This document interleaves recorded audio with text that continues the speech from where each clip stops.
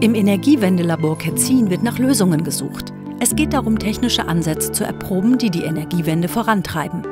Dabei kooperieren wir als Unternehmen aus der Wirtschaft mit Partnern aus der Wissenschaft. Um die fossilen Energieträger wie Erdöl oder Kohle zu ersetzen und den CO2-Ausstoß senken zu können, braucht es neue und innovative Lösungen.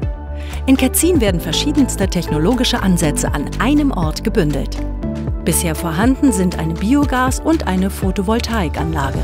Und ganz in der Nähe befindet sich ein großer Windpark, die Nauener Platte, die bei windigem Wetter reichlich Stromüberschuss produziert. Weiterhin geplant ist die Errichtung einer Power-to-Gas-Anlage, die aus dem gerade nicht benötigten Strom grünen Wasserstoff erzeugt. Dieser wird in Zukunft unter anderem für die Mobilität eine entscheidende Rolle spielen. Es werden Lösungen entwickelt, mit denen Energie erzeugt, gespeichert, transformiert und transportiert werden kann.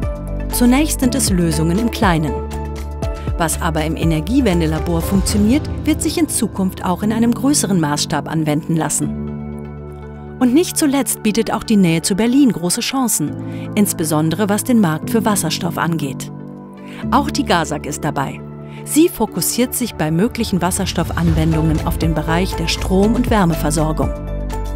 Ziel ist, im Jahr 2030 den Betrieb des Berliner Erdgasnetzes mit einer Mischung aus Erdgas und 20 Prozent Volumen Wasserstoff zu realisieren. Im Havelland entsteht die Zukunft der Energieversorgung.